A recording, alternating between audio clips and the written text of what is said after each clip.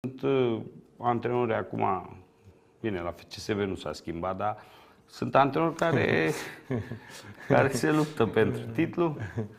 Uh, bine, Dinu mi-e prieten foarte bun și Todoran. Todoran da, și chiar i-am zis înainte, zic, băi, Dinule, și ceva, încearcă să-ți impui cât poți de mult Ideile. stilul și ideile, că până la urmă tu ești cu ei zi de zi, tu antrenezi, tu faci lucrurile tehnico-tactice, că echipa lui Steaua mare se știe.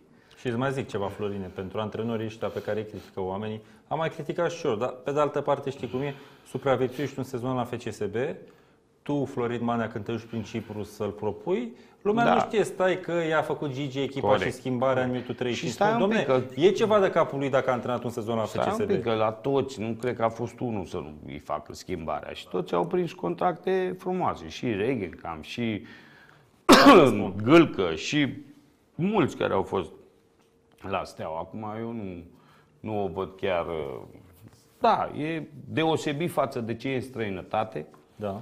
dar în condițiile actuale și criza care este în România, vă mai spun și ceva, nu sună telefonul așa nimănui. Recordul de spectatori pe vechiul Ghencea îl dețineam noi, nu? Așa. Bun. Da. Uite, vezi, ai cu ce să o legi. Da. Așa, deci se inaugurează nou stadion Ghencea, uh, această echipă CSA care uh, spune tribunalul că este de fapt Steaua uh, și trebuie să respecti ce spune tribunalul. Unde sunt mai mulți oameni acolo este? Ca Bravo. și la Rapid. Corect, sunt de acord cu tine. Și cu asta cred că se încheie discuția. Vom vedea uh, care este adevărata Steaua, acolo unde se strâng suporterii. Bun, uh, meci legendar OFK Belgrad, uh, acum joacă în Liga 3 Serbia, dar uh, vine să joace acest meci inaugural pentru că și pe vechiul Ghencea tot așa s-a inaugurat cu uh, Belgradul. Înțeleg că s-au vândut toate biletele, 50% din capacitatea stadionului. Uh, Cum ți se pare stadionul? Cum arată? Mie personal, și n-am nimic cu ei, atenție, mi se pare un pic rece. Îmi dă un sentiment de Milităresc. militarist, ți se pare? Da. E parcă prea frumos, ordonat, a- nu? Nu, e frumos. Așa. Un stadion frumos. Care îți place mai mult, nou Giuleț sau nou Ghencea? Poți să... Nu.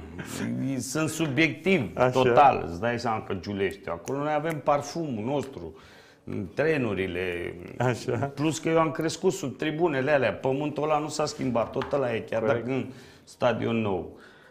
Țin minte când intram pe poarta aia și Așa. vedeam Nearică, Neateo, Sandu Neagu. Sandu Neagu, Pop, Ion Pop, Marin Stelian. Era pentru Uite, mine te întreabă ceva. cineva, Niță.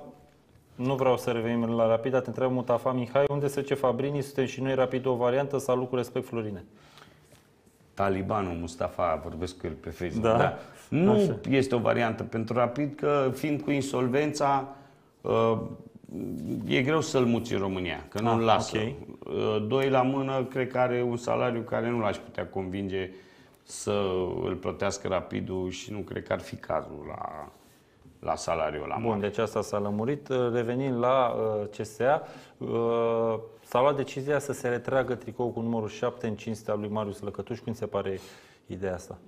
Treaba lor, e un semn de respect totuși. Ce treaba lor? Nu vrei să vorbești de Eu, de ce să vorbesc? Că Acum și eu să propun Ce să înseamnă le că tu retragă știi? pe 11, nu?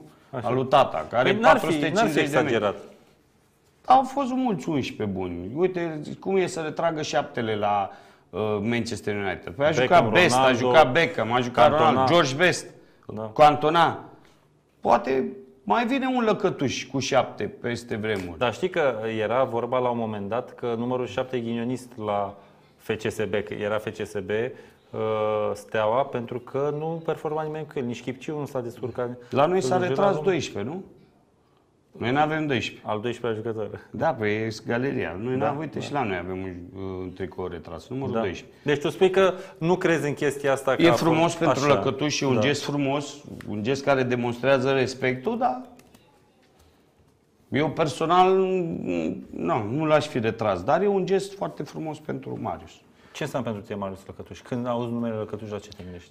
Bă, nu pot să nu-l respect pe Marius Lăcătuș ca fotbalist și ca om și l-am cunoscut și uh, era prieten cu tata, așa. așa, am o glumă cu el senzațională, dar nu Așa. pot să o spun. Zi-o, hai, te rog, Nu zi-o. pot să o De ce? spun. Dacă vrei să o spun după emisiune, De o ce? discuție în, Ce? Așa. în timpul meciului între între tata Da. și Marius Lăcătuș la un meci pe Giulești. Zi-o cu Perdea, că sigur e Nu bun. pot să Hai, zic cu de ce? Perdea, că implică un alt jucător al Stelei Așa. și familia lui și e, e încă în viață și jucătorul ăla. E o discuție foarte mișto faza. Păi haide, mă, Mi-a zi-o povestit acum, să- e păcat nu, că se uită e- lumea la nu, tine. Nu pot, nu pot să o spun. Așa de rea e? Da, e...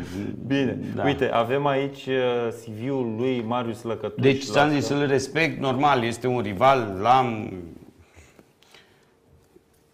apreciat în gând de multe ori. Câte zile negre ți-a făcut Lăcătuș? Multe, pe ne bătea mereu. Stea, Ia uite, bătea. Cupa Campionilor, Supercupa Europei, 10 titluri naționale, 6 cupe ale României, 3 Supercupe ale României. E pentru Steaua, din punctul tău de vedere, privind Da. ca adversar, cel mai important om din istoria stelei? Da. Pentru că unii spun și de Tudorel Stoica. Și Tudorel Soica, da, e crescut acolo. Și, dar Lăcătuș a avut mai mult impact. Impact. Pentru că Tudorel Stoica era un jucător mai... Și alt nu post. așa spectaculos ca și Marius Lăcătuș. Și plus câștigarea Cupei Campionilor, a dat gol